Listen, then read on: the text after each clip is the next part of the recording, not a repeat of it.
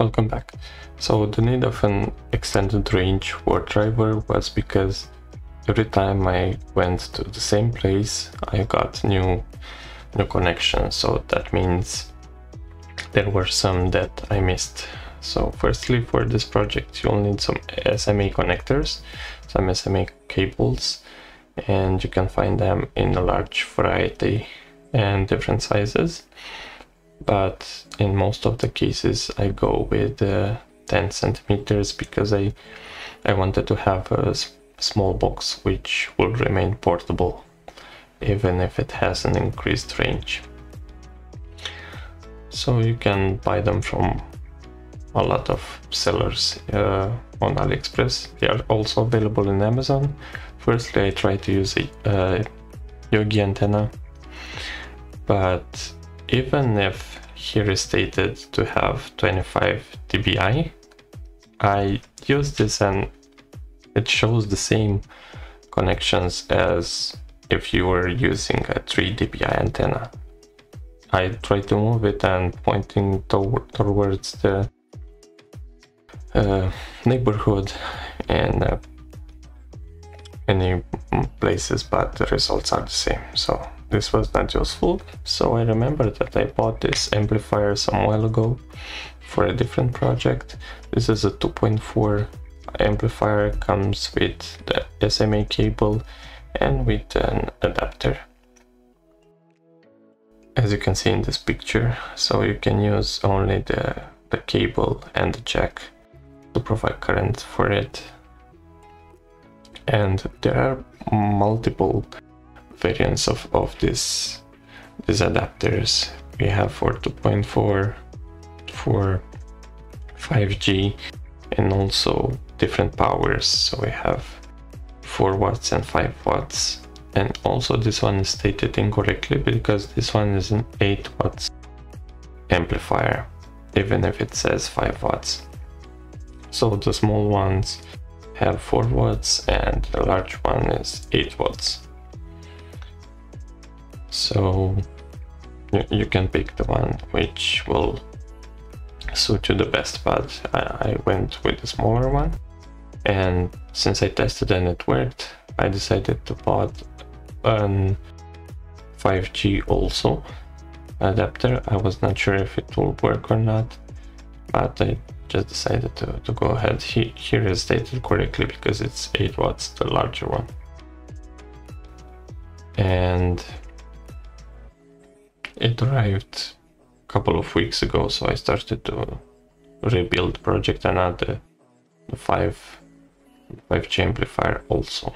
You can see here everything that will come into the box, so the adapter, the cable, an antenna, and also the amplifier itself.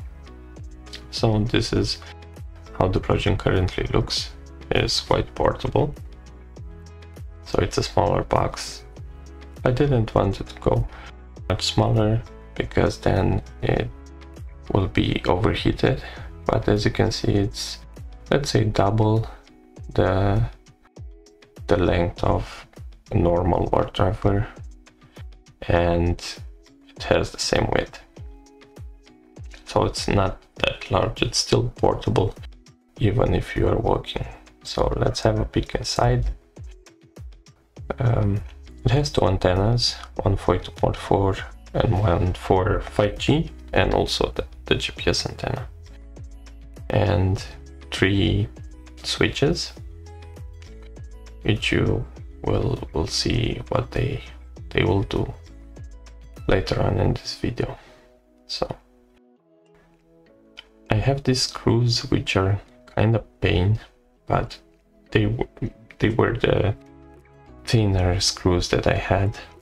They're from a laptop case. And they do the job, but the thing is these gray ones, gray ones are, are flat. These gold ones are not, so you can easily rip off your clothes if you are not paying attention. So okay, let's see inside. Basically, we will have just a normal wardriver, two amplifiers and two battery packs and a power bank. and I will explain in just a second how everything is connected. As you can see, I don't have much space left, so it's just the perfect amount of space that we need. It's not overheating, everything remains under 40 degrees, so I think it's it's just the size that we need. We, I use this wardriver because I already modified it to uh, suit three antennas, one for, for 2.4, one for 5G and one for the GPS. And you can see here how I added the BW16 to it. And also added an additional antenna, the external antenna to, to the module. So now let's dive in the project.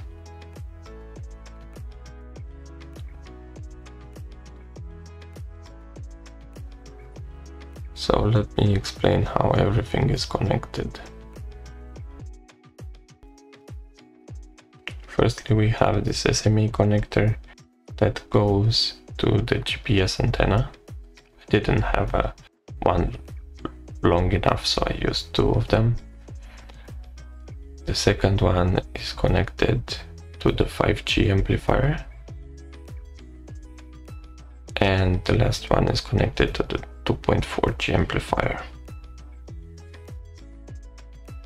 The amplifier itself, or uh, let's finish with this part. We have a, a, a, switch here, which is basically powering up the wardriver. So the switch takes the positive wire from the micro SD cable and goes through the power through the power bank. And when you you turn the switch it basically provides uh, power from the power bank to the wardriver. Then on the other side we have two switches and they are the same basically with positive wires from the, the battery holders and the, the adapter wire from the amplifier, from the jacks amplifier. So it provides current to the amplifiers. The antennas are detachable, so you can move it around or you can reuse the antennas or use maybe some other antennas which are higher gain. But I think these amplifiers provide like 12 or 13 dBi, which is quite enough. So I think we can do a comparison be between a normal wardriver and this one with the amplifiers and you can see the difference and if it's if you'll need the amplifiers or not I, I bet you you will do after you'll see the difference so if we press the first switch you can see that the power is delivered to the first amplifier it has the red LED and the second switch will provide power to the second one. And if we turn on the wardriver, you can see the power bank and then the wardriver turning on.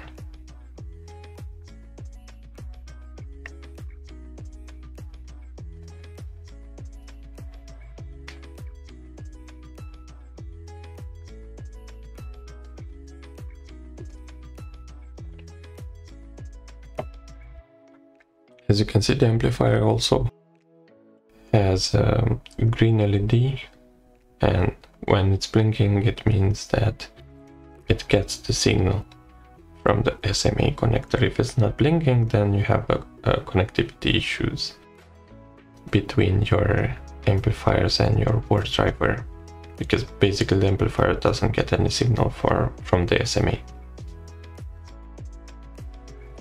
I will try to do some comparison with this wardriver, but it has some issues because the the wires, the jumping wires are very thin and I guess that on the breadboard now the holes are, are larger and the connection is not very secure. So sometimes it just gets an unexpected error and it resets I had a video for unbreaking a wardriver if you disconnect it when it tries to, to boot up.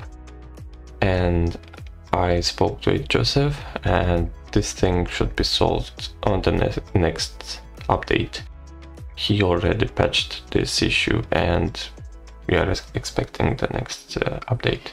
So here we can see on this wardriver we have 6 for 2.4 and 3 for 5G and with amplifiers we have 19 and 16 or even more.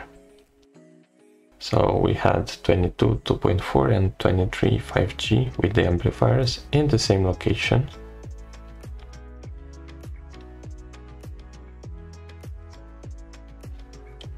And for the other one, which is not using any amplifier, we have just 4 and 7 connections, just using a regular antenna for the 2.4 and for 5G we are using the antenna that is integrated into the module because I didn't have time to, to solder another one. But there is quite a difference here as you can see.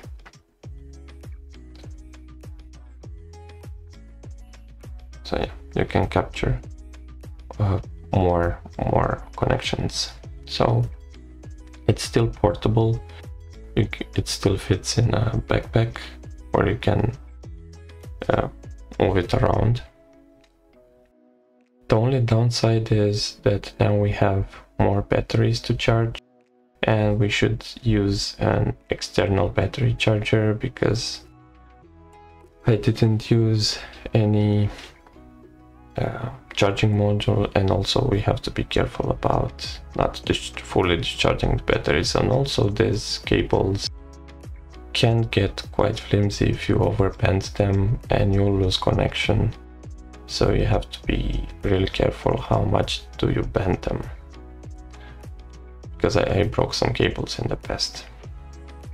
So that is it for today. I hope you've enjoyed the video Please subscribe for more content and see you in the next video. Cheers.